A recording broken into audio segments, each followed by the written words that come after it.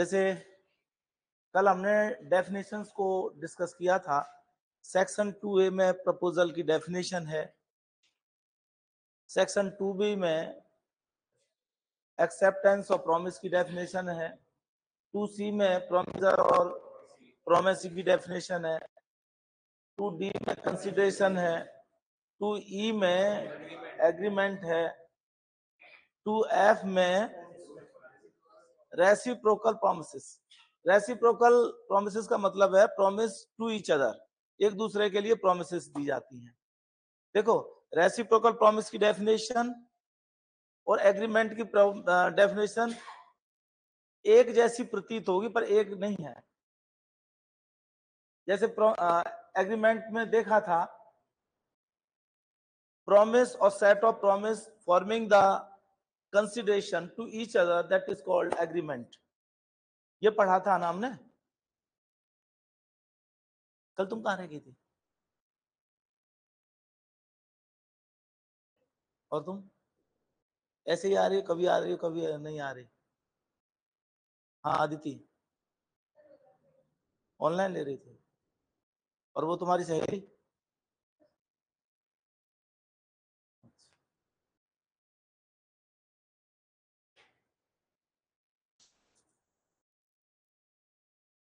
तो एग्रीमेंट को एग्रीमेंट को कल मैंने आपको एग्रीमेंट में और कॉन्ट्रैक्ट में डिफरेंस भी बताया था और वो लिखवा भी दिया था एक लाइन में डिफरेंस फिर उसके बाद उसके बाद G void agreement not enforceable by law void agreement का मतलब क्या था? नॉट एनफोर्सेबल बाई लॉ और फिर मैंने बताया था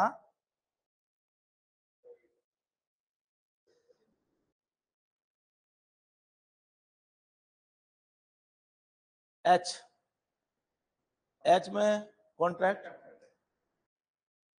और एच के बाद आई वर्डेबल अब तीनों में आपको अंतर समझ में आया? वर्ड एग्रीमेंट देखो चार चार चीज़ें हैं। चार void agreement not enforceable by law contract enforceable by law uh, wordable contract enforceable by enforceable at the option of one party or uh, word contract cease to be enforceable Hindi में विधि द्वारा प्रवर्तनीय नहीं शून्य करार प्रवर्तनीय संविदा विधि द्वारा प्रवर्तनीय संविदा। एक पक्षकार के विकल्प पर प्रवर्तनीय। शून्य करणी संविदा सॉरी शून्य करणी संविदा और जो प्रवर्तनी नहीं रह जाती है, शून्य संविदा। ये कल मैंने डिस्कस कर लिया था। जिन लोगों को इनमें कोई कंफ्यूजन है तो you should see the yesterday's class. Once again. ठीक है? आज जो हम पढ़ने वाले हैं, वैसे तो एक एक लाइन में कुछ बातें और हैं। जैसे two two three four five six seven eight nine जैसे सेक्शन नाइन है जस्ट रीड इट ये मैं पढ़ा चुका आपको कहीं। सेक्शन नाइन पढ़ो आप। ये मैं पढ़ा चुका आपको। मैं बताता जाऊँगा ये पढ़ा हुआ है या नहीं। ये पढ़ा हुआ है क्या आपका सेक्शन नाइन है?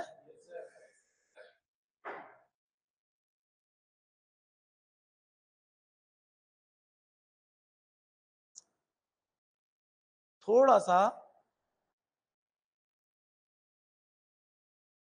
हम देखते हैं प्रपोजल को।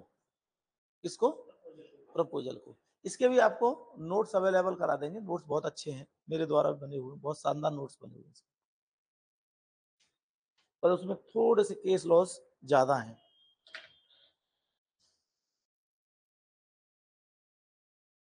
प्रस्ताव या प्रस्थापना, इसी को क्या बोलते हैं? प्रपोजल, और इसको और क्या बोलते हैं? ऑफ़र भी यही है। एक ही बात है। ऑफ़र शब्द आप लोगों ने पढ़ा हुआ प्रस्ताव के लिए आमंत्रण। इसको बोलते हैं इनविटेशन टू ऑफ़र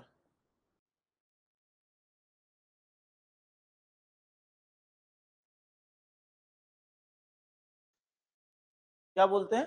अब देखो, अभी हम आगे नहीं जा रहे। दरअसल कॉन्ट्रैक्ट अपने आप में बहुत बड़ा सब्जेक्ट है, लेकिन जहाँ जहाँ से क्वेश्चन बनते हैं, मैं उन चीज़ों पर ही फोकस कर पाऊँगा अभी। क्योंकि मैं प्रपोजल ही पढ़ाऊं तो आज सिर्फ़ प्रपोजल में ही तीन घंटे लग जाएँगे। एक, सिर्फ़ एक शब्द में। लेकिन अपन वहाँ इतना नहीं जाएँगे। तो जैसे एक शब्द है प्रस्ताव, इसमें टू ए में डेफिनेशन आप लोगों ने इसको पढ़ी थी। कि जब एक व्यक्ति किसी अन्य व्यक्ति को अपनी सम्मति इस आशय से संज्ञापित, दूसरे की सहमति अभिप्राप्त करने के लिए संज्ञापित करता है। When one person signifies his assent to other person to obtain his assent, है ना? तो ये सब चीज़ें तो हम कल डिस्कस कर चुके थे।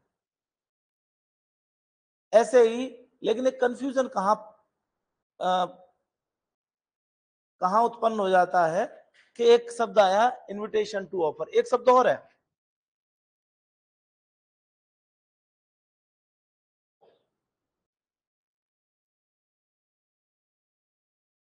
जनरल ऑफ़र या जनरल प्रपोजल अब जनरल ऑफ़र क्या है? मतलब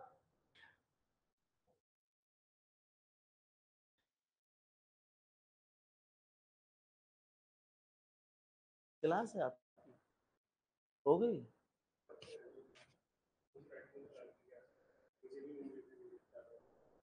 देखो कहाँ है। उनके चांटे मारा करो खींच के। बिना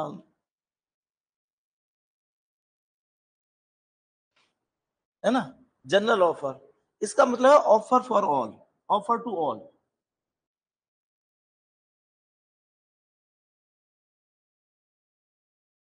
किसी के लिए भी ऑफ़र है ये। ठीक है ना? मतलब जिस ऑफ़र को कोई भी, जिस प्रस्ताव को, जिस प्रपोजल को कोई भी स्वीकार कर ले, इस तरह का ऑफ़र। एक केस के फैक्ट्स आप लोगों को याद आ रहे होंगे, मैं उसमें एक केस ले रहा हूँ। एक ए व्यक्ति था, ठीक है इस ए व्यक्ति ने एक दवाई बनाई। और उस दवाई में इसने ये कहा कि भाई ये दवाई क्या है कि ये जिन लोगों को इन्फ्लुएंजा इन्फ्लुएंजा एक टाइप का जुकाम। जिनको इन्फ्लुएंजा है, इस दवाई को लेने के बाद उसका इन्फ्लुएंजा हर हाल में सही हो जाएगा। नहीं सही हुए तो उसे मैं सौ पौंड दूँगा। ब्रिटेन की मुद्रा का नाम है पौंड। उनका सौ पौंड दूँगा और ये इसने अखबार में एक पूरा का पूरा इश्तेहार दे दिया। और उसमें एक लेडी थी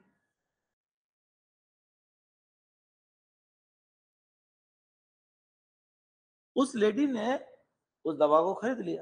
उन्होंने कहा, यार, मेरे को इन्फ्लुएंजा हो रहा है।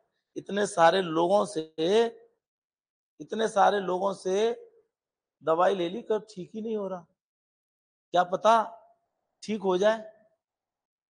तो जब दवाई ली तो उसने जो प्रेस्क्रिप्शन उसमें बताया हुआ था, उसी हिसाब से वो लेती चली गई। उसी हिसाब से लेती चली गई। लेकिन उसका इन्फ्लुएंजा सही नहीं हुआ।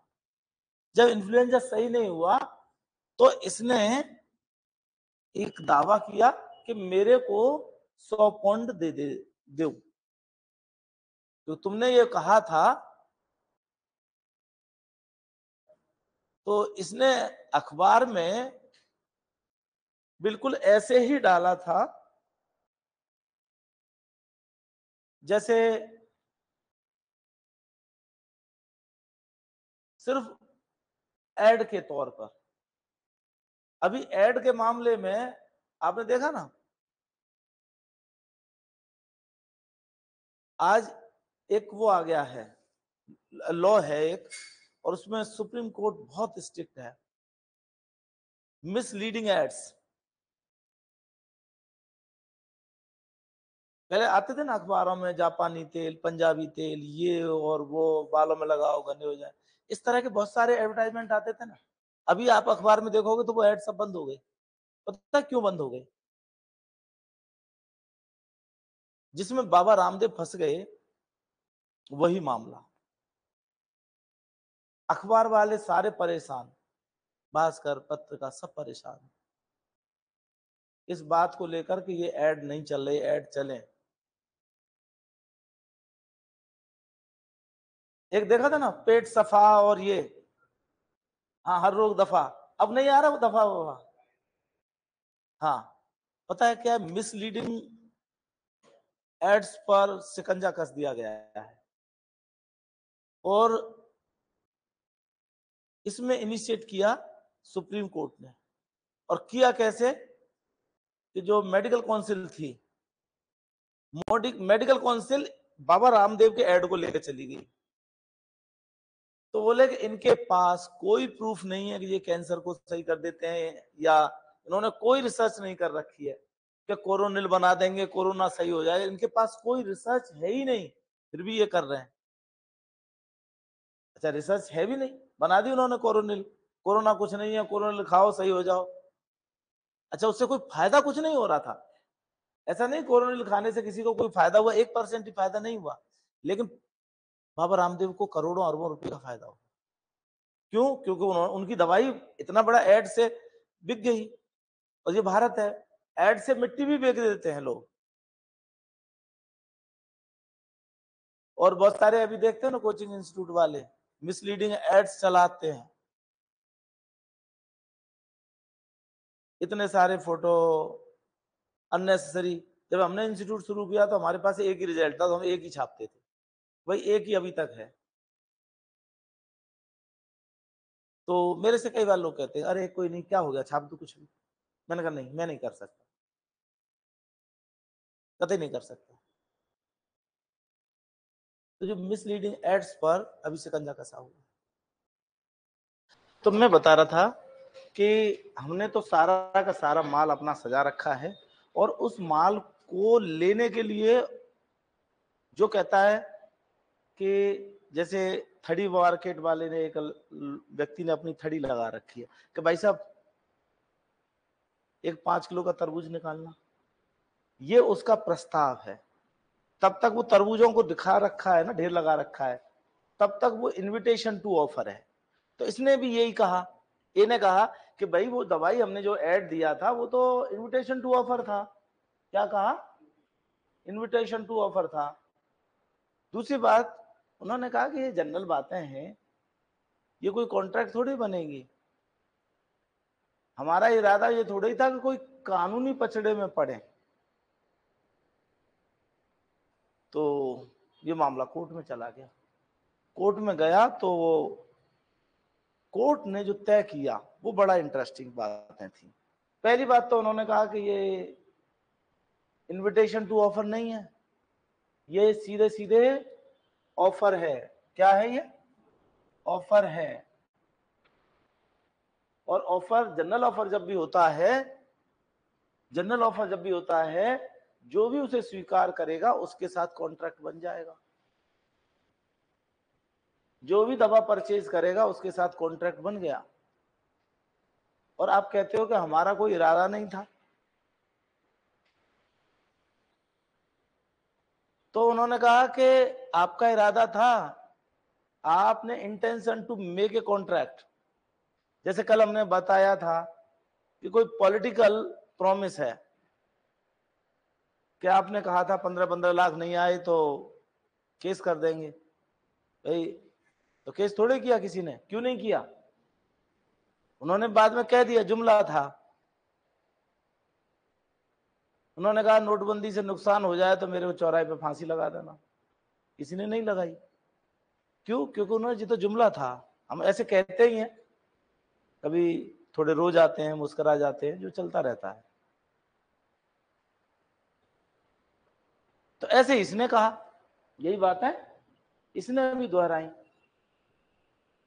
जब ये इसने दोहराई, उन्होंने कहा, ना, तुम्हारा इरादा था, तुमने लिखा उसमें कि सही नहीं हुआ तो सौ रुपया मतलब सौ पौंड देंगे। कितने देंगे? सौ पौंड देंगे। इसका मतलब ये था कि आपका इरादा था, आप बनाना चाहते थे।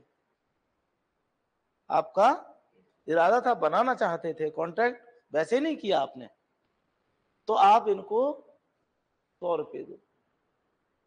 और ये ऑफ़र था। ऑफ़र का मतलब जो भी स्वीकार करेगा, उसके साथ। ये केस पढ़ा क्या आपने कॉलेज में? क्या नाम है इसका? है?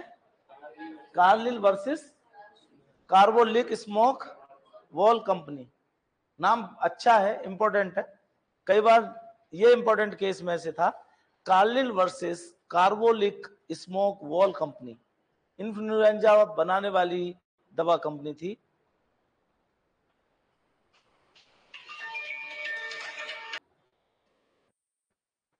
तो ये केस आपके समझ में आ गया होगा। Carlill versus Carbolic Smoke Ball Company. ये जनरल ऑफ़र का बहुत अच्छा केस है। ये कई बार पूछा गया है और आगे भी पूछा जा सकता है।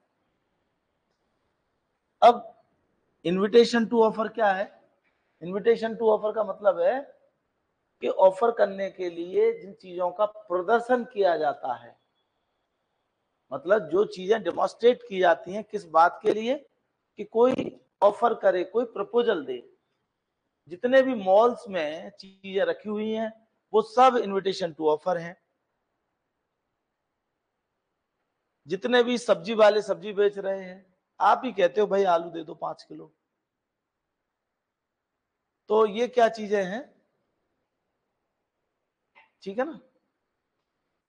समझ में आ गया?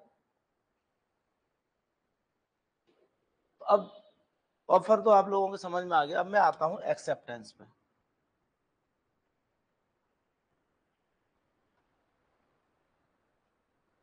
एक्सेप्टेंस या स्वीकृति। देखो, स्वीकृति को थोड़ा सा ऐसे समझो।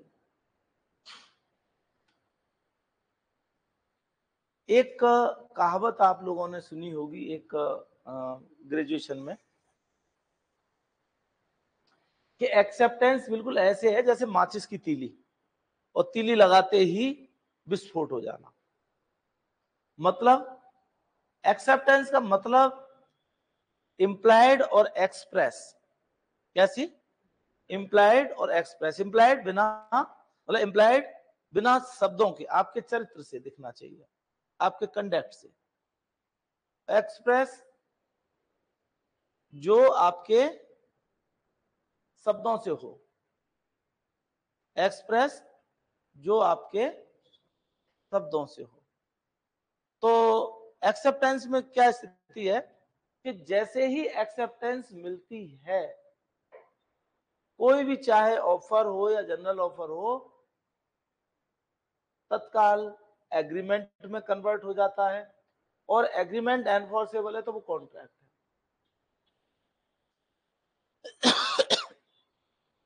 लेकिन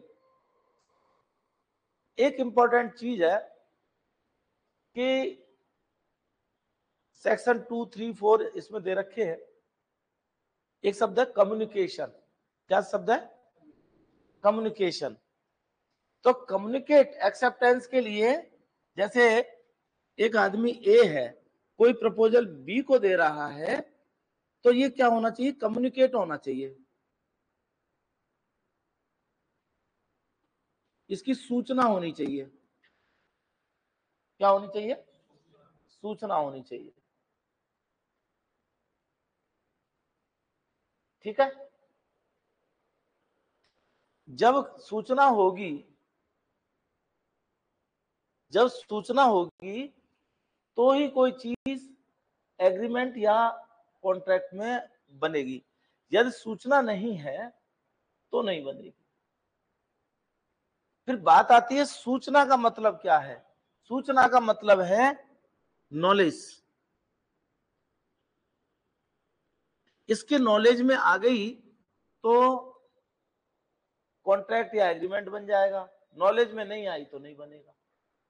जैसे मान लो, एक आदमी ने कोई ऑफ़र किया।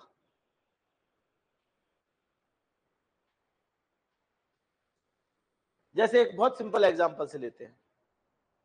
एक आदमी ने ये ऑफ़र किया। अरे दस रुपए किलो लगाएगा ना तरबूज? तभी तेज़ी से वहाँ से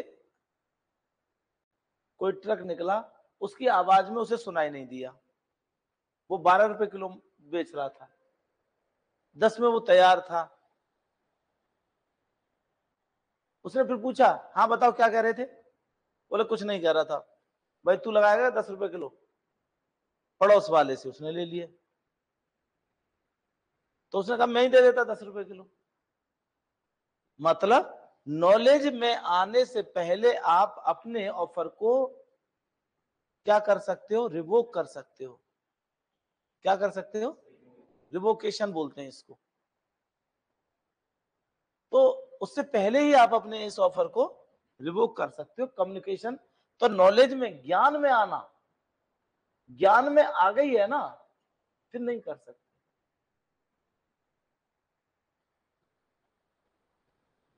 बात फिर दूसरी आती है कि एक्सेप्टेंस की स्थिति क्या है? ये आदमी एक्सेप्टेंस कर रहा है। तो उसकी स्थिति क्या है? कब बनेगा? मान लो बी के ज्ञान में आ गई ना। और इसने हाँ कह दी, क्या कही? हाँ हाँ कहते ही बन गया। अब प्रश्न आता है कि इसकी हाँ इसके तक पहुंचनी चाहिए कि नहीं पहुंचनी चाहिए? या इसके पे ही बन गया? नहीं हाँ इसके तक पहुंचनी चाहिए। मान लो इसने हाँ की और इसकी हाँ की कम्युनिकेशन यहाँ भी नहीं पहुँचा बाद में कहा, नहीं, चलो ना कह देते हम। तो इसका भी यहाँ कम्युनिकेशन होना ज़रूरी है। यदि नहीं होता है तो कॉन्ट्रैक्ट नहीं बनता है। थोड़ा सा और चीज़, मान लो ये सब चीज़ें चिट्ठी से की जाए या मेल से ईमेल से की जाए। ए ने ईमेल लिखा, प्रस्ताव भेज दिया। या पहले चिट्ठी देख लेते हैं। चिट्ठी लिखी और बी के पास भेज दी। अब बी इसका रिवोकेशन बी ने बी ने उस चिट्ठी में हा कर दी। और हा करके चिट्ठी को लेटर को डाल दिया लेटर बॉक्स में। कहा डाल दिया? लेटर बॉक्स में।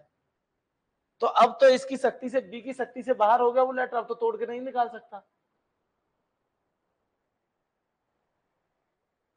अब बी के लिए तो वो क्या है? कॉन्ट्रैक्ट बन गया। किसके लिए? बी के लिए। बी ब्रेक नहीं कर सकता आप उसको। क्योंकि वो हाँ का लेटर कहा डाल चुका है? इसमें डाल चुका है।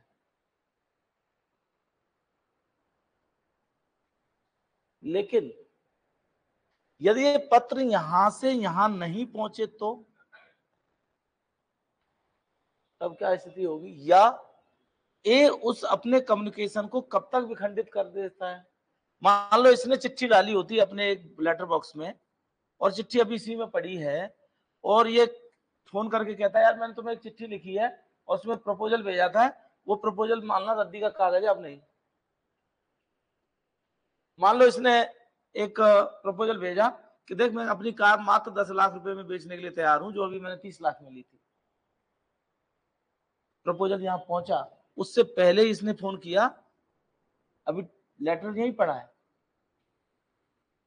या मान लो इसने ईमेल किया, ईमेल कर दिया इसको, या व्हाट्सएप किया। बोले, यार, तेरे को व्हाट्सएप किया था मैंने एक। बोले, यार, मैंने देखा ही नहीं अभी। तो बोले, अब मन देखना उसको। अब मन देखना, वो मैंने वैसे ही कर दिया था। आजकल तो सिस्टम आ गया। डिलीट फॉर ऑल हो जाता है। डिलीट फॉर ऑल हो जाता है। कई, पता नहीं व्हाट्सएप की है या किसी इंस्ट्रूमेंट की है।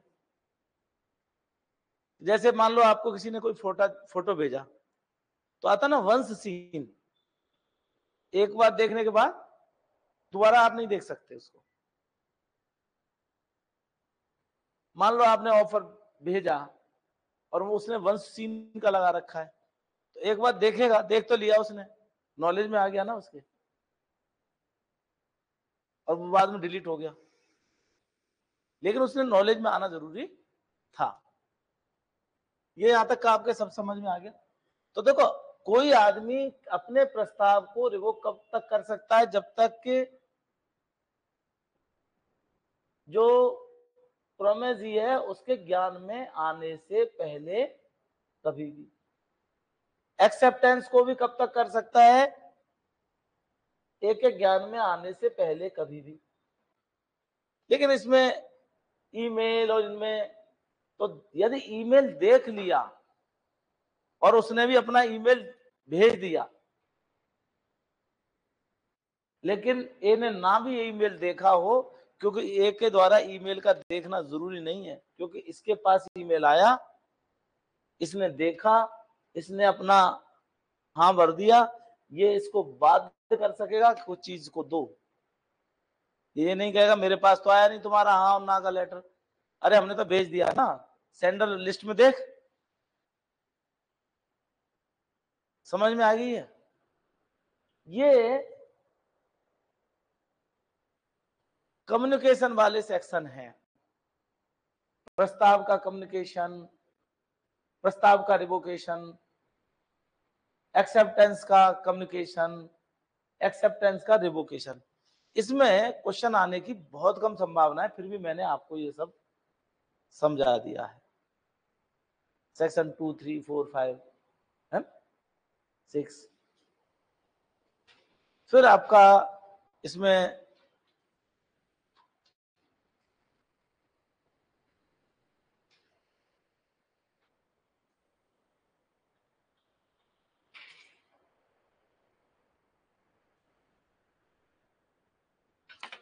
अब देखो सेक्शन टेन क्या है? सेक्शन टेन के संबंध में कल मैंने आपको बताया था, इसी पे है पूरा सेक्शन टू एच तो एन एग्रीमेंट विच इज़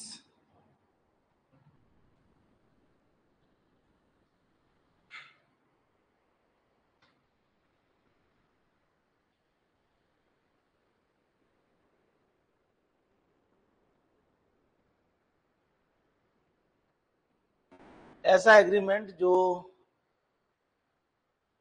विधि द्वारा प्रवर्तनी है, वो कॉन्ट्रैक्ट है। तो जैसे ही सेक्शन टेन पे जाते हैं तो इसका जवाब जो लिखा हुआ है ना, वो सेक्शन टेन में लिखा हुआ है कि what agreements are contract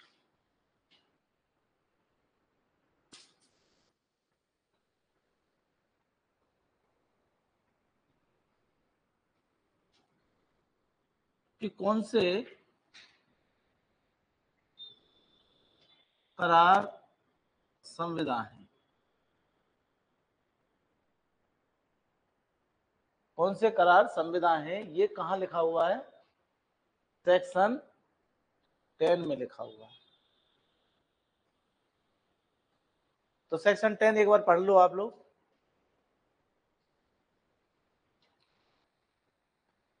section ten पढ़ लो।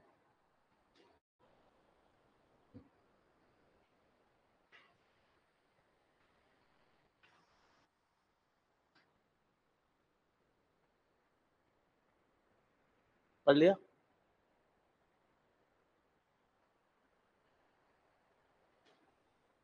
तो देखो, जैसे हम चलते हैं इसमें सेक्शन टेन में तो सबसे पहले कहता है कि ऑल agreements आर contract.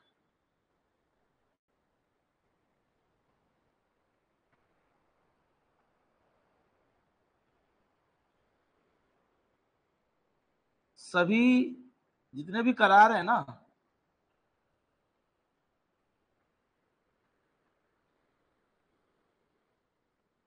सभी करार संविदा है। क्या कहा? सभी करार संविदा है। यदि वे, अब सभी करार संविधाएँ ये बात कह दी। सभी करार संविधाएँ हैं, ये बात इन्होंने कह दी। मतलब जो एग्रीमेंट होता है, वही कॉन्ट्रैक्ट होता है। लेकिन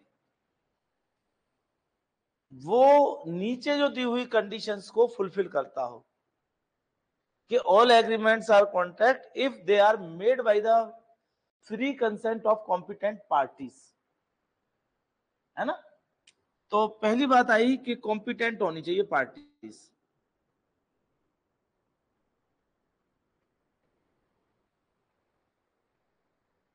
सक्षम पक्षकार होने चाहिए। कौन से सेक्शन में? अब पता क्या है? सेक्शन टेन को एलोबरेट करते हैं तो वो सेक्शन तीस तक जाता है। एक तरह से कॉन्ट्रैक्ट में एक ही section two H plus ten और टेन जाता है वो थर्टी तक। तो एक ही सेक्शन आगे बढ़ जाएगा आगे। कॉम्पिटेंट पार्टी सक्षम पक्ष का तो पहली बात तो ये है कि कॉन्ट्रैक्ट करने के लिए पार्टी सक्षम होनी चाहिए। कहा लिख रही है? ऐसा सेक्शन ग्यारह देखो। ग्यारह देखो, एक बार ग्यारह पढ़ो। ग्यारह पढ़ो। पढ़ लिया। अब देखो, ग्यारह में सक्षमता बता रखी है तो तीन तरह के सक्षम बांधे उसने। पहली बात, माइनर नहीं होना चाहिए नेगेटिव नेगेटिव तौर पे लिखा हुआ है कि माइनर नहीं होना चाहिए। इसका मतलब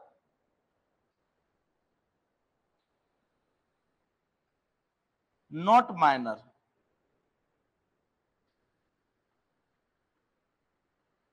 मतलब अवयस्क नहीं होना चाहिए। अवयस्क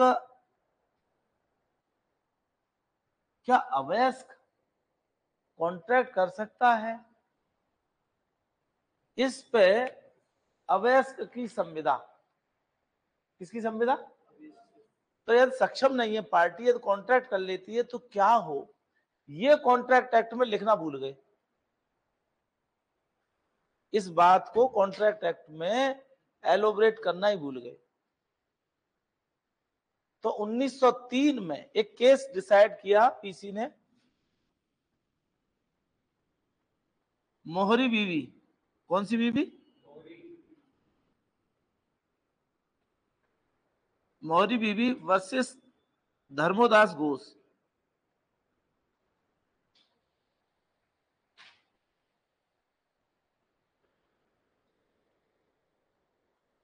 ये याद है केस? ये केस कई बार पूछ लेते हैं।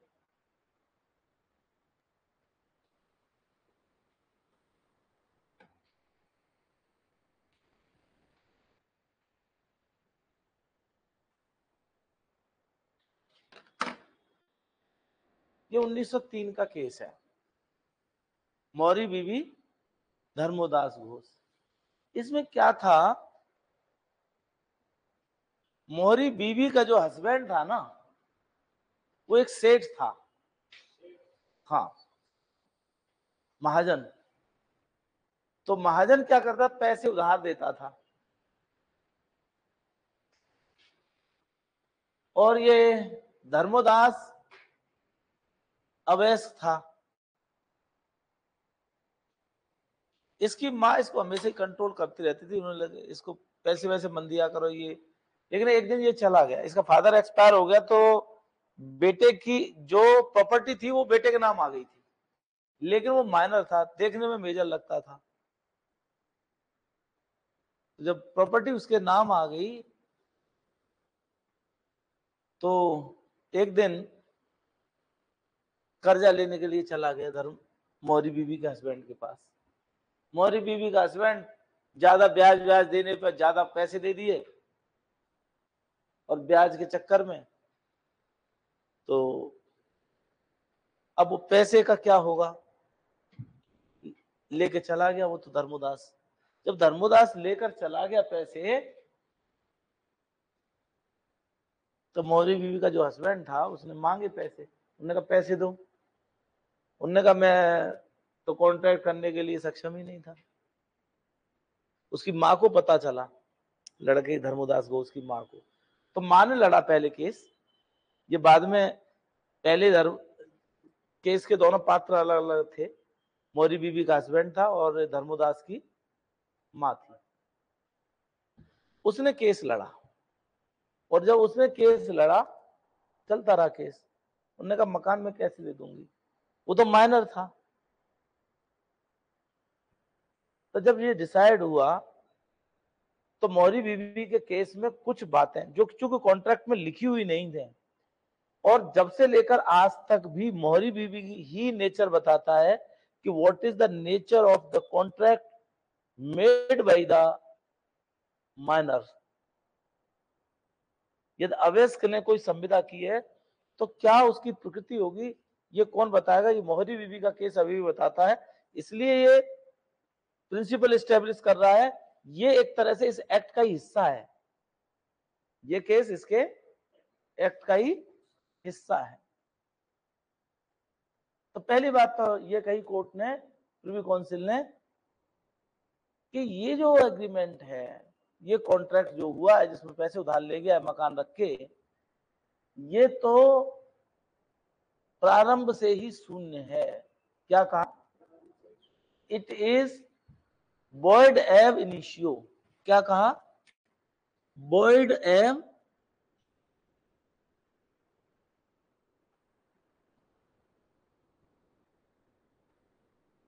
प्रारंभ से ही शून्य।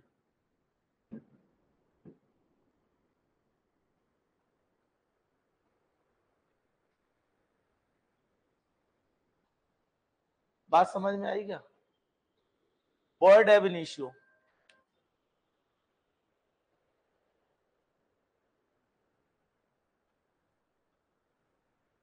प्रारंभ से ही शून्य है।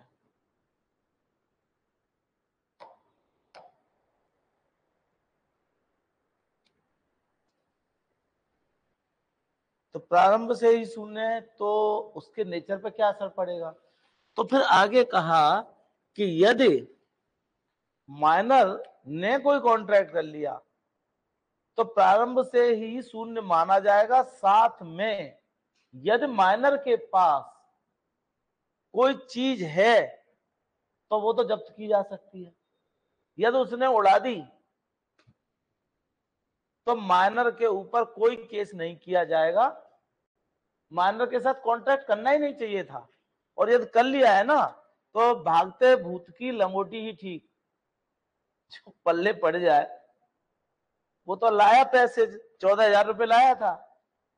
चौदह हज़ार में से उस समय के चौदह हज़ार थे ये। तो चौदह हज़ार में से जो बच गया ना, अब उसने तो उड़ा दिए सारे चौदह हज़ार।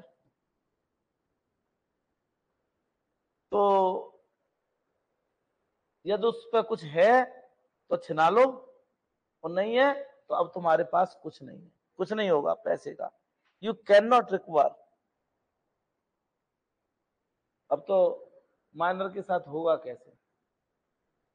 ये बात अब पुरानी होगी लेकिन होते थे। अब क्या पुरानी हो गई? कैसे हो गई पुरानी? आधार कार्ड लगता है। मान लो किसी ने आधार कार्ड झूठा लगाया चीटिंग है फ्रॉड है, और आने वाले टाइम में ये सब चीज़ें लगभग खत्म हो जाएँगी क्योंकि आप कर ही नहीं सकोगे। आजकल सिस्टम आ रहे हैं।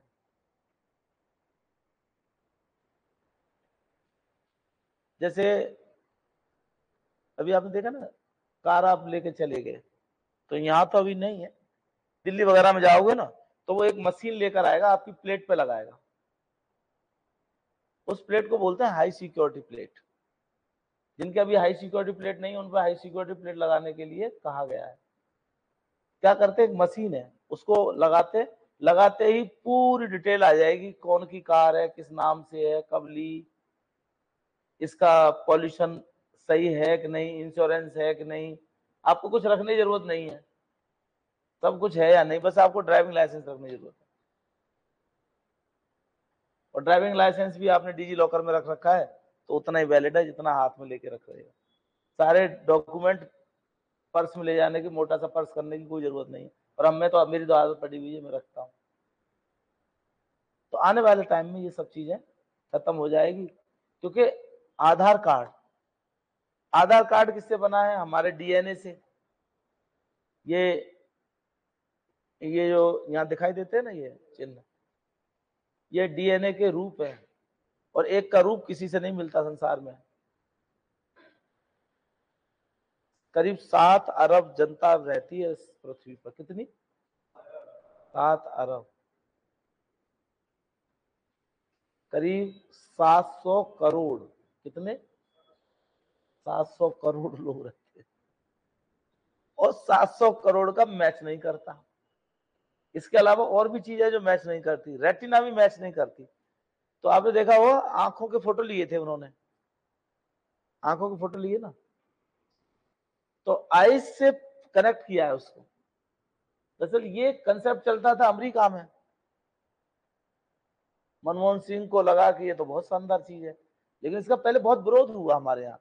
इस पे भी रिट भी पेश हुई, सुप्रीम कोर्ट में गए कि हमारे राइट टू प्राइवेसी खत्म हो जाए, सब कुछ सरकार को पता लग जाएगा, ये लग जाएगा। तो सरकार को तो सब पता है। आपकी रेटिना वहाँ है डीएनए वहाँ है, सब पता है सरकार को।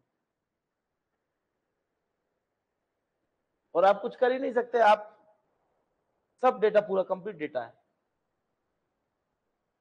डेटा चोरी हो जाएगा।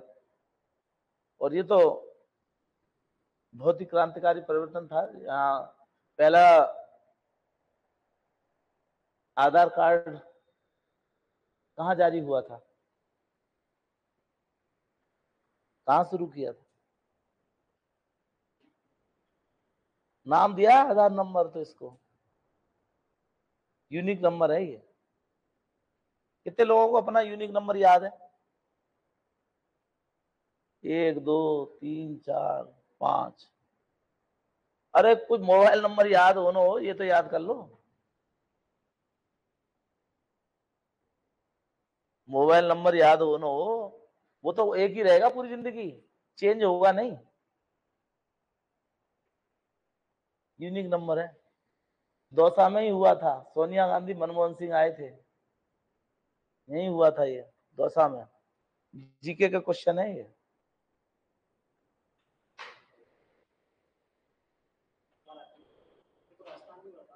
दौसा में नहीं नहीं, भारत में ही, भारत का यही हुआ था भाई सबसे पहले सबसे पहले। इसका विरोध किया था। हमारे वर्तमान प्रधानमंत्री जी ने भी बहुत विरोध किया था क्या अब सारी प्राइवेसी खत्म हो जाएगी। और अब सब आधार से लिंक हो गए कट से डालते हैं। सब कुछ आपके अकाउंट में अकाउंट सब पता है उन्हें। कितने पैसे हैं, कहाँ ट्रांजेक्शन कर रहे हो, कहाँ से आ रहे हैं, कहाँ जा रहे हो, सब पता है। हर चीज़ पता है। ऐसी गाड़ियों का है तो ये सब चीज़ें खत्म हो जाएँगी थोड़े दिन में। आप कह ही नहीं सकोगे। अभी जैसे जो दो दो, तीन तीन जगह वोटर आईडी जैसे गाँव में भी बनवा लेते हैं, यहाँ भी बनवा लेते हैं, ये भी खत्म हो जाएगा। अभी आधार से लिंक हो रहा है। और आने वाला टाइम ऐसे आने वाला है कि आप वोट डालने के लिए जाने की ज़रूरत नहीं है। ऑनलाइन वोट डल जाएगा आपका, मोबाइल से डाल दो।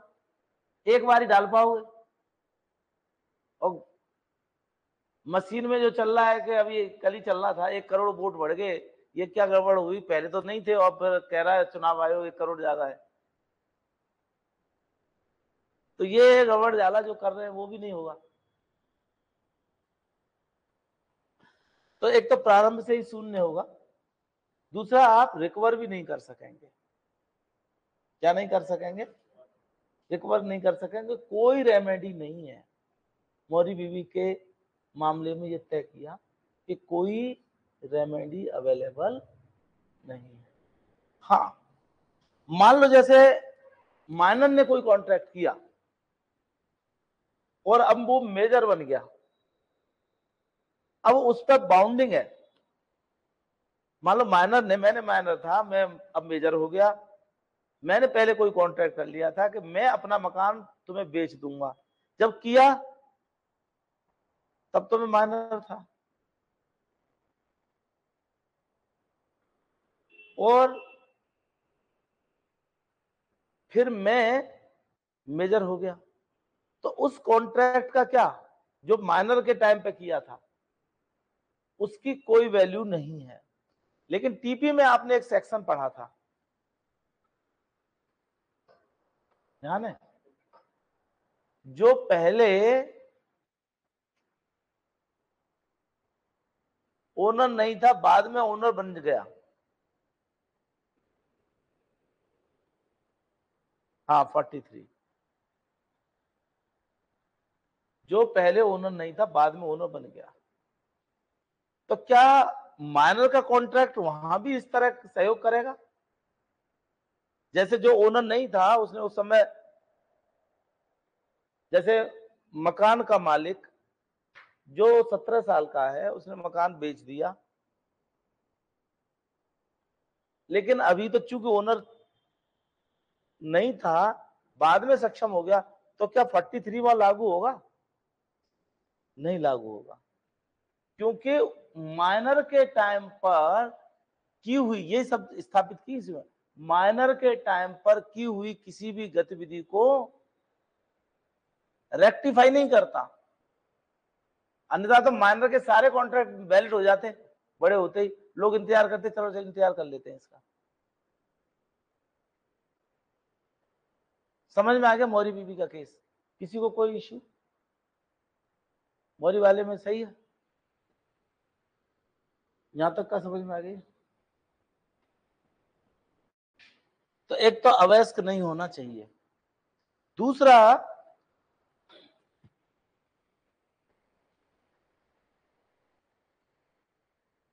ये हटा रहा हूँ यहाँ से।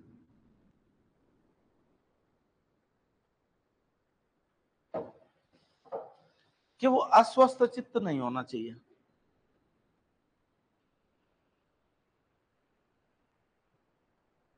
अनसाउंड माइंड नहीं होना चाहिए।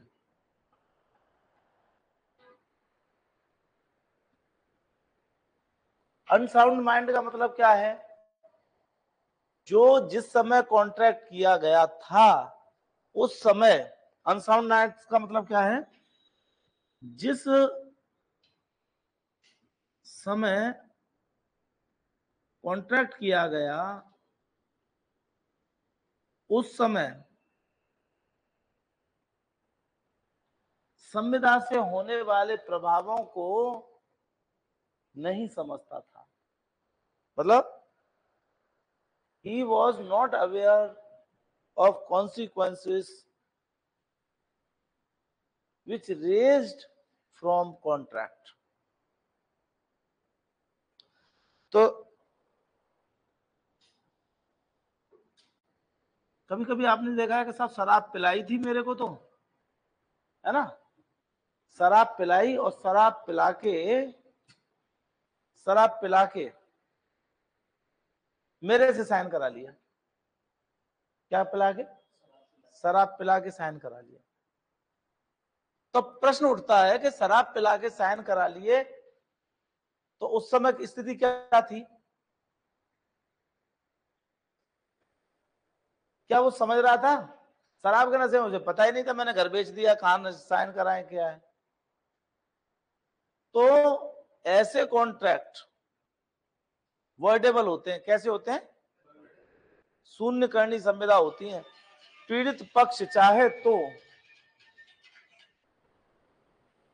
तो जिस समय कॉन्ट्रैक्ट कर रहे थे, उस समय अब स्थिति क्या है कि जब आदमी को शराब पिला दी है, कुछ तो इंटॉक्सिकेटेड कंडीशन में होता है। तो उसके पास ये ऑप्शन है कि वो जो ट्रांजेक्शन हुआ था, उस ट्रांजेक्शन को वर्ड डिक्लेयर करा ले।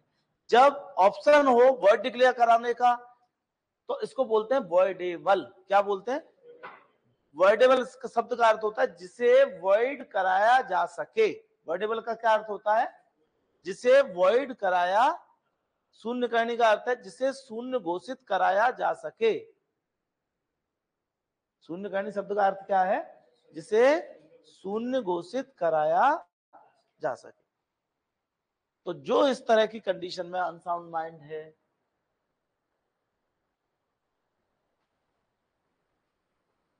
देखो, जैसे स्पेसिफिक रिलीफ एक्ट में एक सेक्शन है सत्ताईस। कौन सा? सत्ताईस। तो कोई भी कॉन्ट्रैक्ट जब तक उसके लिए एप्लीकेशन नहीं आई है ना, जब तक घोषित नहीं कराया, तब तक अस्तित्व में रहता है। आपको वर्ड डिक्लेयर कराना पड़ेगा। क्या करना पड़ेगा? वर्ड डिक्लेयर कराना पड़ेगा। तीसरी चीज़ और कहता है उसे दिवालिया घोषित ना किया गया हो। क्या? नॉट डिक्लेयर इंसॉल्वेंट इंसॉल्वेंट समझते दिवालिया। दिवालिया और इंसॉल्वेंट का मतलब है कि जिसके पास, जिसने कह दिया है, स्वीकार कर लिया है, जी, अब मेरे पास कुछ नहीं है मेरे नाम से जो प्रॉपर्टी हो, वो तुम ले लो। जिसको देनी हो, वो दे देना। मेरे पास अब कुछ नहीं। कोई आदमी इंस्टॉलमेंट कोर्ट अपने मन से करती है, घोषित, या घोषित करवाना पड़ता है उसको? आदमी को खुद को करवाना पड़ता है। क्या होता है? खुद को। जैसे मान लो एक आदमी ने से पचास हज़ार रुपया लिया।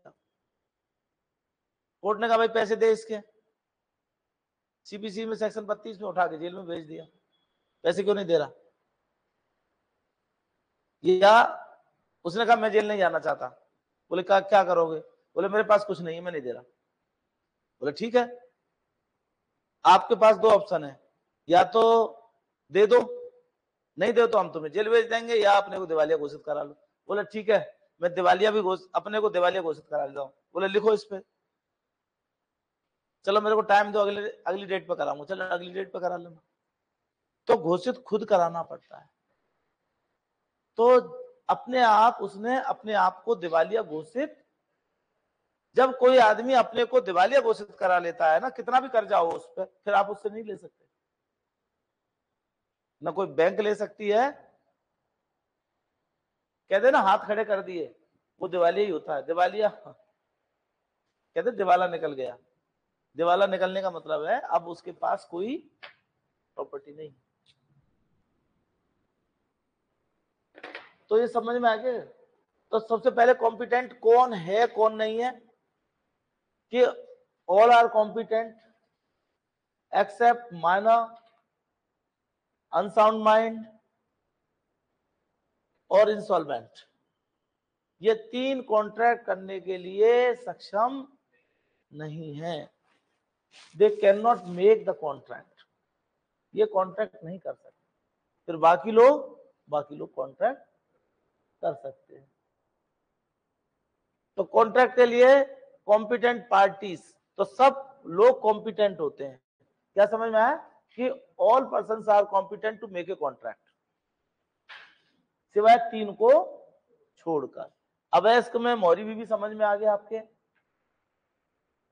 देखो ये शॉर्ट नोट्स है ना थोड़े थोड़े लिखते चले जाना, सीधे एक्ट से नहीं उठा पाओगे। नोट्स दिए हुए हैं, ये जितनी बातें मैं बोल रहा हूँ, मेरे अपने कॉन्ट्रैक्ट के नोट्स में सब कुछ दिया हुआ है। लेकिन ये ब्रीफ में नहीं लिख पाओगे आप।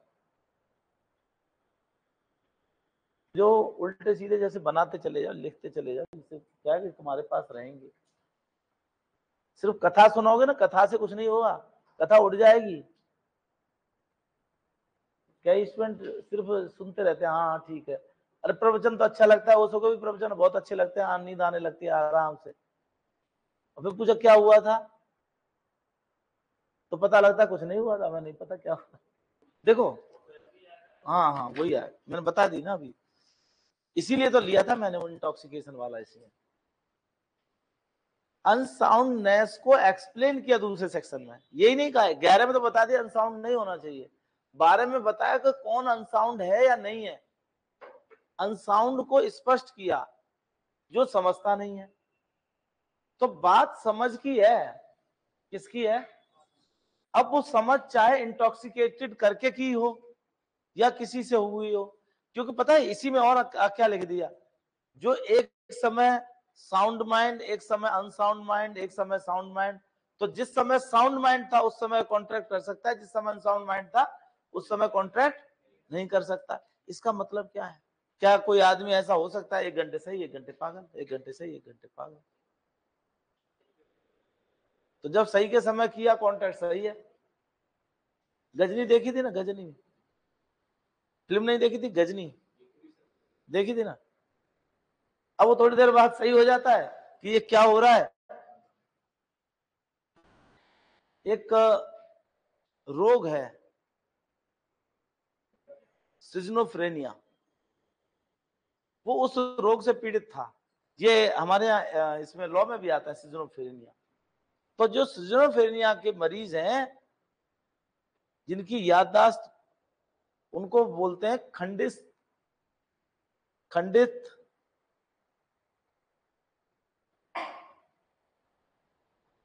मनस्ता तो खंडित मन।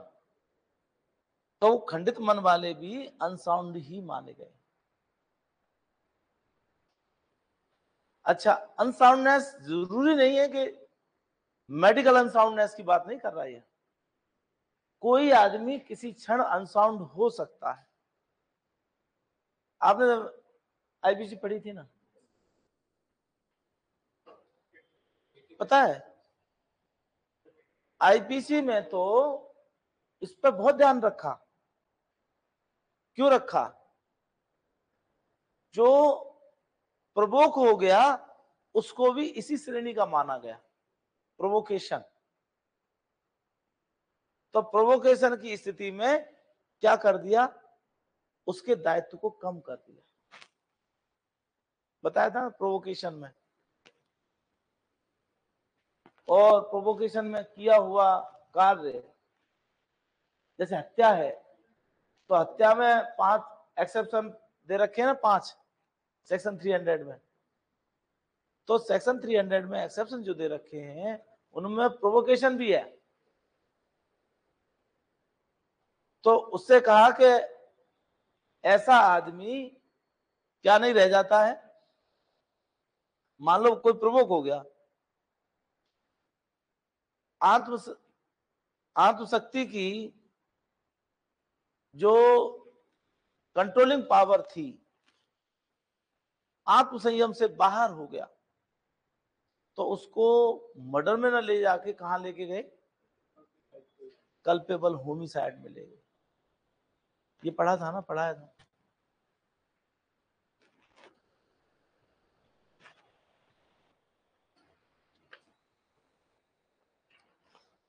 तो ट्वेल्व भी आ गया। अब थर्टीन में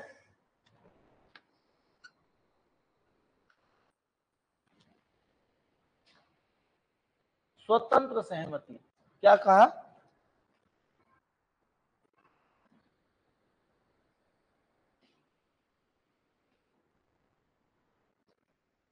फ्री कंसेंट कैसी कंसेंट अरे तो तेरे में रह जाओ। स्वतंत्र सहमति होनी चाहिए। तो सहमति शुभ चौदह में दे रखी है, लेकिन तेरह में सम्मति दे रखी है। क्या दे रखी है? सम्मति। तो सम्मति, स्वतंत्र सहमति की जगह पर सबसे पहले दिया उन्होंने, सहमति को स्पष्ट किया। जब कॉन्ट्रैक्ट करने वाले लोग एक ही बात पर एक ही भाव से सहमत होते हैं। कैसे? एक ही बात और एक ही भाव पर सहमत होना। मतलब सेम थिंग और with same sense same thing with same sense ध्यान आ रहा है, मैंने एक ये एग्ज़ाम्पल पता नहीं, दिया था। एक आदमी था जो गन बेचने का काम करता था। क्या करता था? गन्स बेचता था। उसके पास ए गया कि भाई मेरे को गन से खरीदनी है। बोले, खरीद लो। मैंने अभी नई नई दुकान डाली है। मेरे पास तीन ऑर्डर भी आ गए हैं। तो बताओ आप एक ट्रक गन भर के ले जानी है कितने रुपए उसने रेट थोड़ी महँगी लगाई। तो बोले, मैं तो यार तीन ही लूँगा अभी। मेरे पास तीन ऑर्डर है, फिर ऐसे धीमे धीमे बहुत महँगी लगा रहे हो आप। बोले, तीन ले जाओ, इससे कम नहीं देंगे। ए वापस आ गया। ए ने क्या किया? मेल किया इसको। उस समय मेल नहीं चलता था, तार चलता था। तार किया। और तार करते वक्त क्या कहा? कि देखो, कि please send the guns the माने वही। दी माने वही वाली गन्स भेज दो। तो उसने सोचा, दी गन्स लिखा है इसने। तो उसने पूरा का पूरा ट्रक भर के भेज दिया। इसने तार करवाया तो ये लिखना चाहता था थ्री और लिख क्या दिया? दी तो ट्रक भर दिया। अब ट्रक खड़ा कर दिया, उन्होंने कहा, भाई, पैसे दो। पूरे ट्रक के आपको माल लेना पड़ेगा। मामला कोर्ट में चला गया। तो उन्होंने कहा, सर, मैं इनके पास गया था फैक्ट्स उन्होंने रखे। मैं गया था, मैंने कहा था please send me three guns गलती से उसने दी लिख दिया, जिस उससे कराया था। तो कोर्ट ने कहा कि ही इज़ नॉट बाउंड क्योंकि सेक्शन तेरह सम्मति को स्पष्ट करता है, दोनों के, वो कुछ मांग रहा था, आप कुछ दे रहे थे। वो कुछ मांग रहा था आप कुछ दे रहे थे तो दी गन्स नहीं है और थ्री गन्स भी नहीं है। इसलिए ये कोई कॉन्ट्रैक्ट बना ही नहीं। तो पहली बात तो कंसेंट होनी चाहिए। तो बोले, ये कंसेंट ही नहीं है। फ्री की तो बात अलग हुई। क्या हुई? फ्री की तो बात अलग हुई। फिर सेक्शन चौदह कहता है फ्री कंसेंट क्या है? तो उसने कहा कि जो ऐसी कंसेंट है जो सेक्शन पंद्रह में परिभाषित प्रपीड़न से संबंधित नहीं होनी चाहिए कॉर्जन नहीं होना चाहिए। धारा 16 में परिभाषित अंडू इन्फ्लुएंस नहीं होना चाहिए। धारा 17 में परिभाषित कपट से प्रभावित नहीं होनी चाहिए। धारा 18 में परिभाषित मिस रिप्रेजेंटेशन से प्रभावित और धारा 20 से 22 तक भूल से प्रभावित नहीं होनी चाहिए। चौदह, याद हो गया? ना पढ़ लो, तेरह भी पढ़ लो, चौदह पढ़ लो, फटाफट फटाफट पढ़ लिया करो। सिंपल एक्ट है यह कॉन्ट्रैक्ट इसलिए पढ़ाया जाता है, थोड़ा सा इंटरेस्टिंग और सिंपल होता है। तो उसमें आप देखोगे आपके फ़र्स्ट ईयर में आपको सबसे पहले कॉन्ट्रैक्ट ही रख देते हैं। सारे टीचर कॉन्ट्रैक्ट पढ़ा रहे होते हैं। और कॉन्ट्रैक्टर सभी पढ़ के आए होंगे।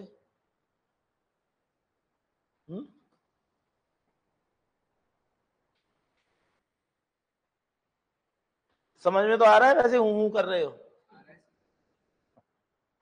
आ रहा है?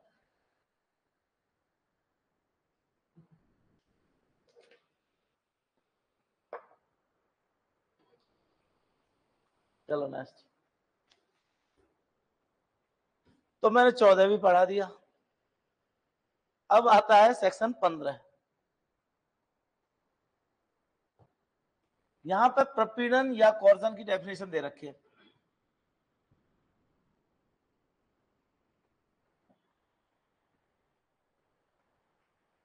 ये कॉर्सन क्या होता है? देखो, भारतीय दंड संहिता में परिभाषित कोई अपराध करना, करने की धमकी करने का प्रयास कौन सा? जो आईपीसी में ऑफेंस दिया हुआ है। करके कोई कॉन्ट्रैक्ट करना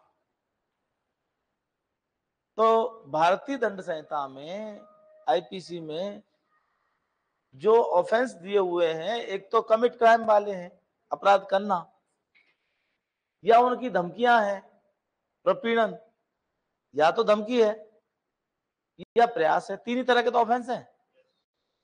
करना, धमकी, प्रयास तो इनमें से कोई सा अपराध आता हो, उससे कॉन्ट्रैक्ट किया गया हो तो प्रपीड़न है। हाथ पैर तोड़ दूँगा कॉन्ट्रैक्ट कर ले तो काय में जाएगा? तो वो प्रभावित किससे हो गया? कॉर्जन से। और सेक्शन 14 क्या कहता है कि कॉर्जन से प्रभावित है तो फ्री कंसेंट नहीं है। और सेक्शन 10 क्या कहता है कि फ्री कंसेंट होनी चाहिए, नहीं तो कॉन्ट्रैक्ट बेकार है। तो मान लो कर भी लिया किसी ने कॉर्जन से कर भी लिया तब क्या होगा? आगे दे रखा है उसका प्रभाव। तो ऐसे कॉन्ट्रैक्ट को वर्डेबल डिक्लेयर करा सकता है पीड़ित पक्ष। क्या करा सकता है? जैसे कल मैंने एक एग्जांपल दिया था। उसने कहा, लठैत बेच रहा हूँ। या तो कॉन्ट्रैक्ट कर लेना। उन्होंने कहा, भाई साहब, दिया था ना गाड़ी खरीदने वाला। इसका मतलब देखते नहीं हो आप जाके घर पे।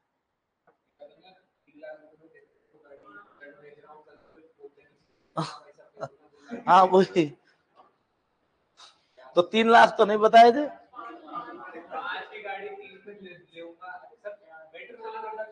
अरे तू क्या समझ रहा है? मेरे, मैं तो मैं कुछ भी नहीं भूलता। जो मैं पढ़ा रहा होता हूँ ना, सब फ़ीड है ये। जैसे इलेक्ट्रॉनिक डिवाइस में फ़ीड होता है ना एक एक शब्द फ़ीड रहता है मेरे। मेरी मेमोरी वाकई में बहुत अच्छी है। आप लोगों को भी यही कहना चाहिए, यार मेमोरी तो वाकई भगवान को बहुत बहुत धन्यवाद। इतने, इतनी अच्छी प्यारी मेमोरी दी। नहीं होगी ना तो सही हो जाएगी।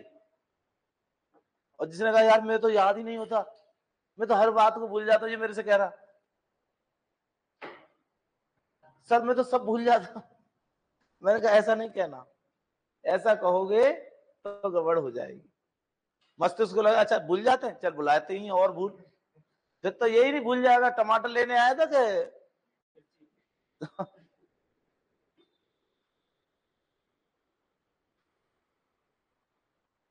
समझ में आ गया? तो सेक्शन चौदह बताता है कि ये फ्री कंसेंट होनी चाहिए इन इनमें तो पंद्रह ने कहा प्रपीडन, सोलह ने कहा अंडी इन्फ्लुएंस। क्या कहा? अंडी इन्फ्लुएंस देखो अंडी इन्फ्लुएंस क्या होता है?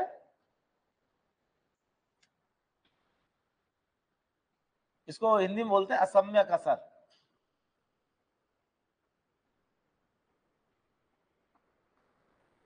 अंडी इन्फ्लुएंस इसको और नाम दे सकते हो, मजबूरी का फ़ायदा उठाना। है? क्या कह रहा है?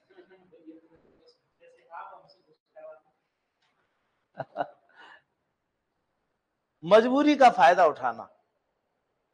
उसको बोलते हैं अंडी इन्फ्लुएंस मतलब एक पार्टी दूसरी पार्टी को अधिशासित या डोमिनेट करने की पोजीशन क्या है? एक पार्टी द्वारा दूसरी पार्टी को डोमिनेट करने की पोजीशन अब डोमिनेट करने की पोजीशन किसी व्यक्ति की कब होती है? एक रिलेशनशिप होती है फिड्यूसरी रिलेशनशिप कौन सी रिलेशनशिप फिड्यूसरी रिलेशनशिप हिंदी में क्या बोलेंगे? वैश्वासिक संबंध. पढ़ लिया? सोलह में कोई चीज़ ऐसी है जो आप पूछना चाहते हो? हैं? फिर सत्रह. सेक्शन सत्रह. देखो, यहाँ पे फ्रॉड की डेफिनेशन दे रखी है. ध्यान आ रहा हो आईपीसी में फ्रॉडुलेंट की डेफिनेशन दे रखी थी। कपट पूर्वक तो कपट पूर्वक आशय से किया गया कार्य कपट पूर्वक कहलाता। कहाँ दे रखी है ये? कपट के आशय से किया गया कोई कार्य कपट पूर्वक कहलाता है। मतलब पूरी डेफिनेशन नहीं है। यहाँ तो क्या? मतलब कपट वाला जो इंटेंशन है उससे किया गया वो फ्रॉड है। लेकिन फ्रॉड क्या है? ये सेक्शन सत्रह कॉन्ट्रैक्ट एक्ट में दिया हुआ है। कहा दिया हुआ है? सेक्शन सत्रह कॉन्ट्रैक्ट में दिया हुआ है।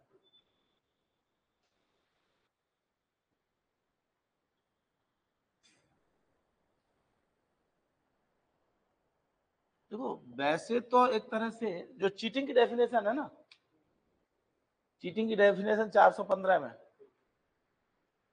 क्रिमिनल में जो चीटिंग की डेफिनेशन है, करीब करीब फ्रॉड की डेफिनेशन वही है। लेकिन सिविल मामलों में जब बोलेंगे तो उसे फ्रॉड बोलेंगे। क्रिमिनल मामले में बोलेंगे तो चीटिंग बोलेंगे। कई बार क्रिमिनल में बोलते हैं लोग, अरे यार, हमारे साथ फ्रॉड कर दिया। अरे फ्रॉड कर दिया सिविल मामला हो तो फ्रॉड माना जाए। क्रिमिनल में क्या चीज़ मानी जाएगी वो? चीटिंग इसमें जब हम देखते हैं यदि इसको सामान्य भाषा में पूरी डेफिनेशन को पढ़े। पढ़ ली क्या एक बार? सत्रह पढ़ लो एक बार जस्ट रीड कर लो।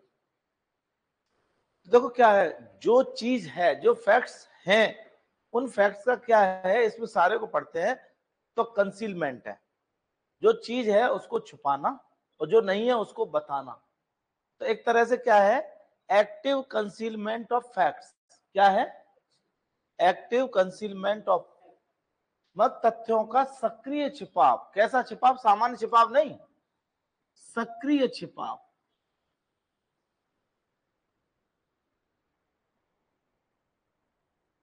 तथ्यों का एक तो सक्रिय छिपाव हो तो फ्रॉड हो जाएगा। दूसरा, जो बात कही गई है जो बात कही गई है, यदि फ्रॉड न किया गया होता तो शायद वो सहमत न होता।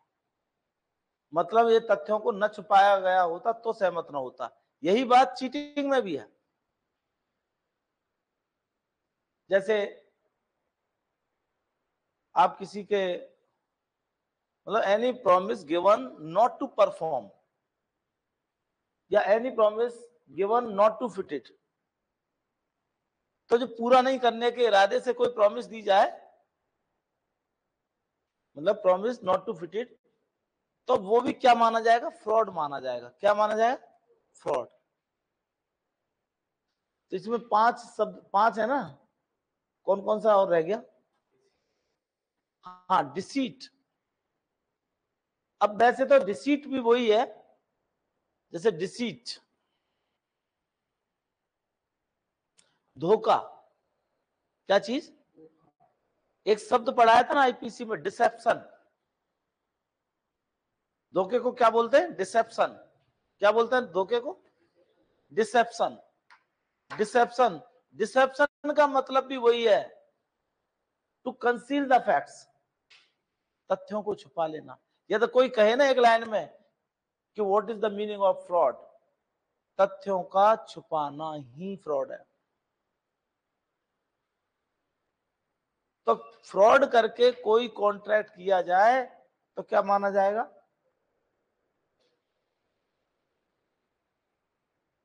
वर्ड नहीं है ये। ये वर्डेबल है। ये सारे कौन से चल रहे हैं? वर्डेबल मान लो कोई कॉन्ट्रैक्ट कर लिया तो जो पीड़ित पक्ष है, उस पीड़ित पक्ष को कोर्ट में जाकर ये दावा करने का अधिकार है कि वो कहे कि साहब ये फ्रॉड से कॉन्ट्रैक्ट किया गया और इस कॉन्ट्रैक्ट को वर्ड डिक्लेयर कर दिया जाए। तो it will depend on the party who is victim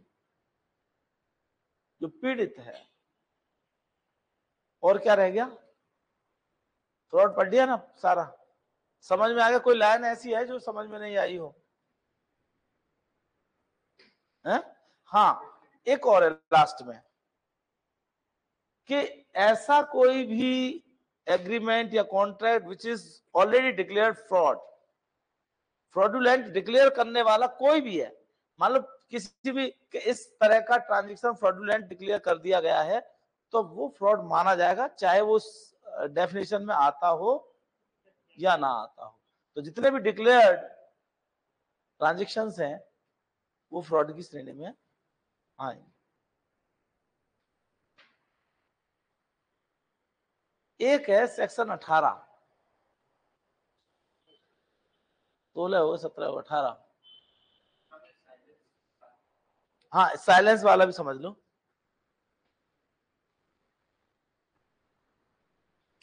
चुप रहना फ्रॉड नहीं है। चुप रहना फ्रॉड नहीं है। लेकिन चुप रहना बोलने के बराबर हो जाए तो फ्रॉड हो जाएगा। चुप रहना जैसे एक मामला था। एक लड़की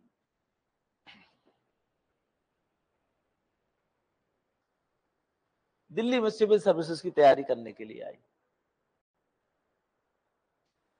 बहुत अच्छे घर से थी।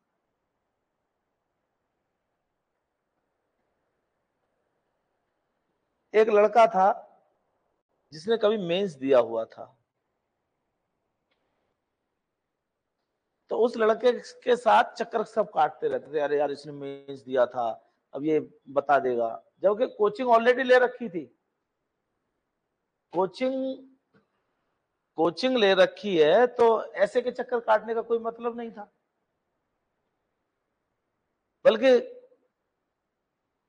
सेलेक्ट होके आईएएस बन भी गया हो तो उसके भी चक्कर क्यों काटना? वो पास हो गया है, लेकिन वो गाइड नहीं कर सकता। ठीक है? वो किसी की गाइडेंस से, जैसे कूदते हैं ना, यहाँ से झटके से यहाँ कूद गए तो बस ठीक है, कूद गया। लेकिन he is not competent to guide others और जो कुछ भी उसने किया, वो किसी और ने उसे करवाया, इसलिए हो गया।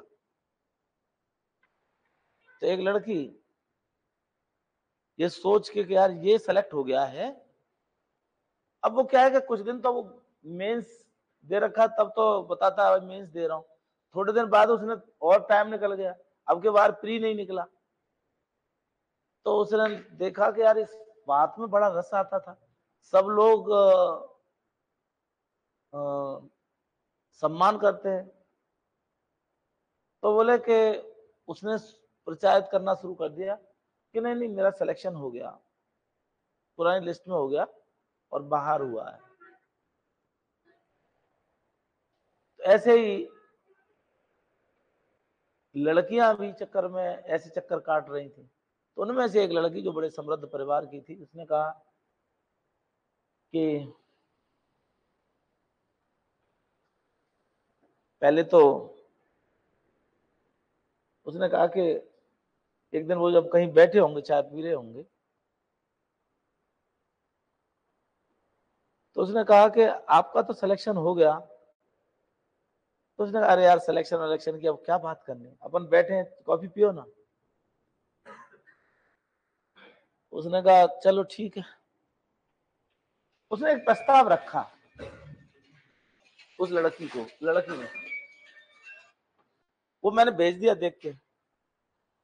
भेज दिया। हाँ ठीक है, एक बार भेज देना, पर वो मैंने भेज दिया। मैंने तोताराम शास्त्री भेज दिया। आ गया था वो तो मैंने भेज दिया। ठीक ठीक ठीक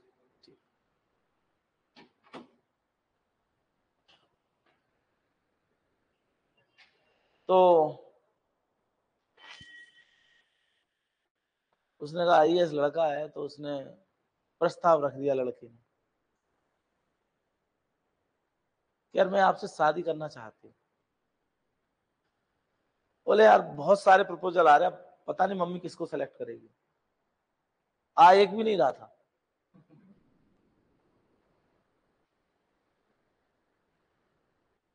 तो लड़की ने कहा, मम्मी सेलेक्ट करेगी, मैं खुद ही कह रही हूँ ना आपसे। आप क्यों चक्कर में पड़ रहे हो? उसे थोड़ी सी और ज़्यादा लगी कि आईएएस लड़का हाथ से निकल जाएगा। और उसने अपने मम्मी पापा से कह, कहा के शादी हो गई। शादी हो गई तो उन्होंने कहा, यार घर वालों को बुलाने की ज़रूरत नहीं, मैं तो क्या थोड़े से ये सिविल सर्विसेज़ की तैयारी से थोड़ा सा अलग टाइप का हो गया हूँ। और ये मैं दहेज और ये सब उसमें नहीं पड़ता। मैं तो बहुत सिंपल तो सिंपल कोर्ट मैरिज कर लेते हैं। बोले हाँ ठीक है, कोर्ट मैरिज कर लेते हैं। बोले, आपके घर वाले बोले, मेरे घर वाले तो कोई आएगा नहीं। मैंने किसी को नहीं बुलाना। लड़की के घर वाले दो चार आए और उन्होंने कोर्ट मैरिज कर दी, लड़की शादी हो गई। फिर बोले, आपकी ज्वाइनिंग कब आ रही है? बोले हाँ जल्दी ही देखते हैं कब आ रही है। टालता रहा टालता एक झूठ को कब तक टालोगे? झूठ को कब तक चलाओगे? शादी हो गई। अब वो तो सेलेक्ट नहीं हुआ था ना। उसने लड़की को बाद में सब पता लग गया। तो उसने कहा कि मेरे साथ में फ्रॉड किया है। और वो सारी अपनी प्लीडिंग में लिखी। हम वहाँ बैठे थे, ये बोले, मैंने तो बिल्कुल कभी कहा ही नहीं कि मैं आइए सिलेक्ट हो गया हूँ। लड़के ने कहा, मैंने कब कहा आपको? कभी कहा था कर, नहीं, कहा नहीं। लेकिन उनके कंडक्ट से कंडक्ट से स्पष्ट हो गया था फ्रॉड तो केवल मतलब न बोलना, बोलने के बराबर हो जाए तो फ्रॉड हो जाएगा। न बोलना, जैसे उसने कहा अरे यार, क्या पढ़ाई की और उसकी सिविल सिलेक्शन की बातें कर रहे कॉफ़ी पियो ना अभी तो। तो न बोलना, बोलने के बराबर कई केस हैं वैसे इसमें?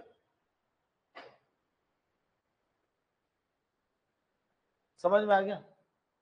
मतलब silence is not fraud what I am saying कि silence is not fraud but silence is equal to speak, it shall become fraud. न बोलना बोलने के बराबर हो जाएगा। समझ में आ गया? एक है सेक्शन 18 मिस रिप्रेजेंटेशन क्या चीज़ है? मिस रिप्रेजेंटेशन अब ये मिस रिप्रेजेंटेशन क्या होता है? ब्रेक के बाद करूँ या अभी करूँ?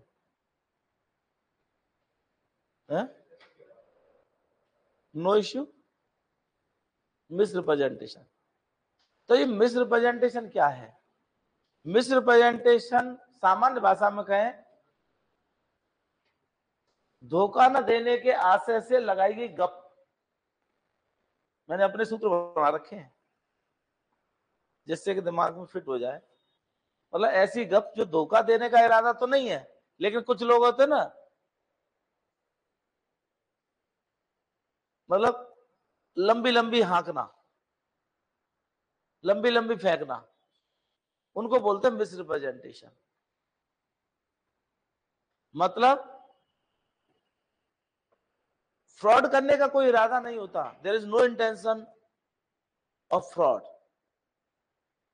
लेकिन उनके कंडक्ट से ऐसा हो जाता है।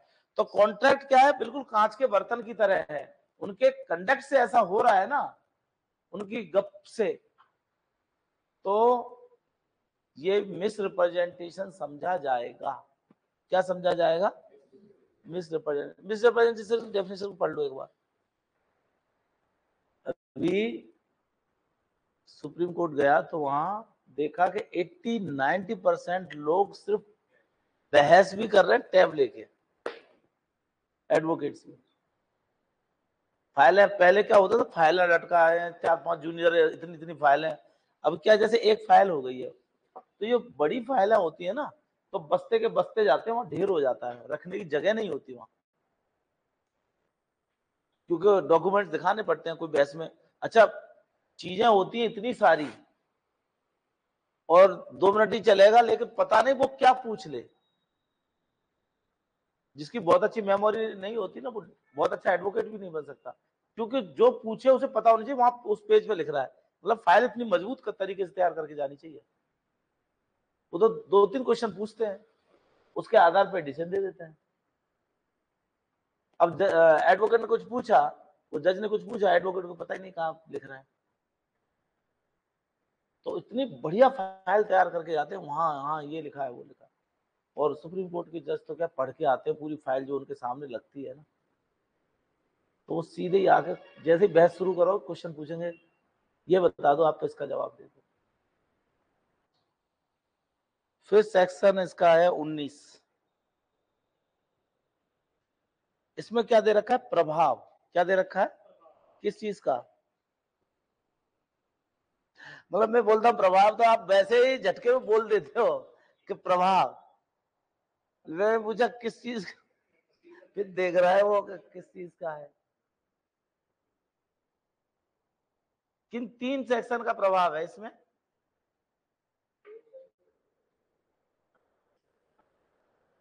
पंद्रह, सत्रह, अठारह। इंपॉर्टेंट है, ध्यान रखना ये। क्योंकि फिर उन्नीस ए और बनी हुई है, उसमें सोलह का है। पंद्रह, सत्रह, अठारह। तो पंद्रह, सत्रह, अठारह का प्रभाव ये है, पीड़ित इसके आधार पर कॉन्ट्रैक्ट को वर्डेबल डिक्लेयर करा सकता है। क्या करा सकता है? वर्डेबल है ना? इसका प्रभाव कैसा है? वर्डेबल लेकिन आपके दिमाग में आ रहा होगा, फिर भाई, सोलह के लिए अलग क्यों बनाया? प्रभाव तो उसके लिए भी है। सेक्शन सोलह का प्रभाव 19 ए में दे रखा है। 19 तो समझ में आ गया ना? 19 पढ़ो। 19 ए पढ़ लिया? 19 ए में सेक्शन 16 का प्रभाव है अंडू इन्फ्लुएंस का प्रभाव। तो 19 ए में और 19 में क्या अंतर है? मतलब अंडू इन्फ्लुएंस का प्रभाव क्या होता है? मतलब किस तरह का कॉन्ट्रैक्ट माना जाएगा? वर्डेबल या वर्ड या नहीं वर्डेबल माना जाएगा। तो अंतर अंतर क्या उन्नीस में ही लिख देते तो। एक ये भी है, अंडी इन्फ्लुएंस में कोई बेनिफिट उठा लिया है। मान लो आपका एक प्लॉट था। मैंने कहा, यार, ये प्लॉट तो आप हमें दे दो। बोले, सर, मैं इससे कम में नहीं दूँगा। नहीं नहीं यार, इतने में दे दो। अब मैंने ले लिया आपसे। और अधिशासित करने की स्थिति में था। इसमें एक इलस्ट्रेशन दे रखा है सेक्शन सोलह में। उससे मुझे कौन बता देगा? एक लड़की है। जो अभी अभी वालिग हुई है। अरे सोलह में पढ़ इलस्ट्रेशन हाँ सत्रह का है। सत्रह का ए लड़की जो वालिग हुई है। सत्रह का नहीं हुआ, सोलह का ही हुआ।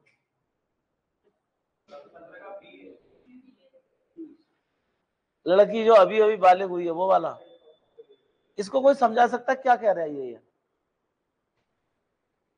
हाँ उसमें है कि अभी बालिक हुई है ना तो उसको जानकारी नहीं है और उसकी समझ को हिसाब से बनाया कि भाई अभी अभी बालिग हुई है वो।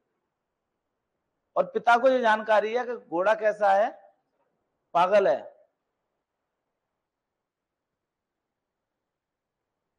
जैसे सा, कोई सामान बेचने जाते हैं ना।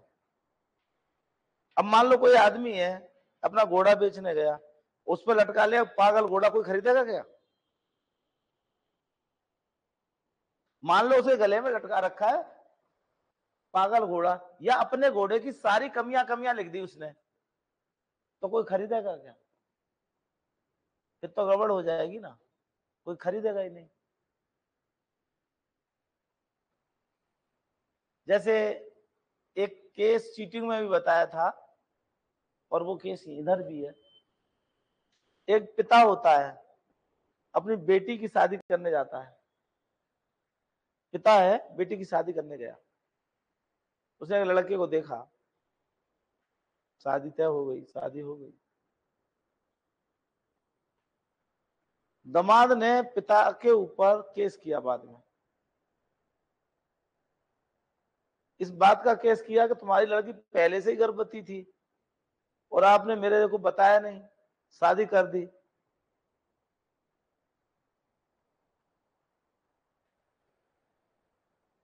तो ये केस चलेगा क्या?